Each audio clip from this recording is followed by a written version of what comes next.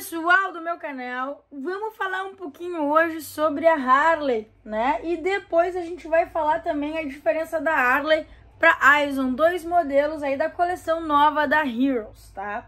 Primeiramente falando das características da raquete. Raquete em 20mm, um perfil mais fino, um perfil muito mais técnico. Raquete com pouca furação.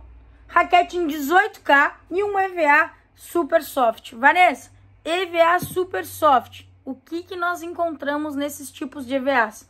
São EVAs que eles acabam imprimindo mais velocidade. Vanessa, fala um pouquinho aí das características de teste. Galera, uma raquete aí com seus 326 gramas, tá?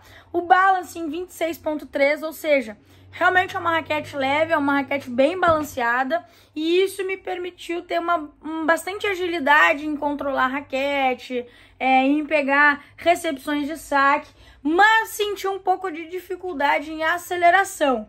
Raquete com pouco furo, raquete lisa, né, deslizando aí bastante, né, uh, opcional, como ela vem uma raquete mais leve, de fazer um tratamento, tá, deva vai subir aí pelo menos umas 6, 7 gramas, né? Um tratamento mais fino, dependendo dos seus estilos de jogos. Para quem que eu posso indicar essa raquete? Em qual estilo de jogo essa raquete ela, ela é indicada? Gente, ela é uma raquete extremamente defensiva, uma raquete muito rígida, com pouca furação.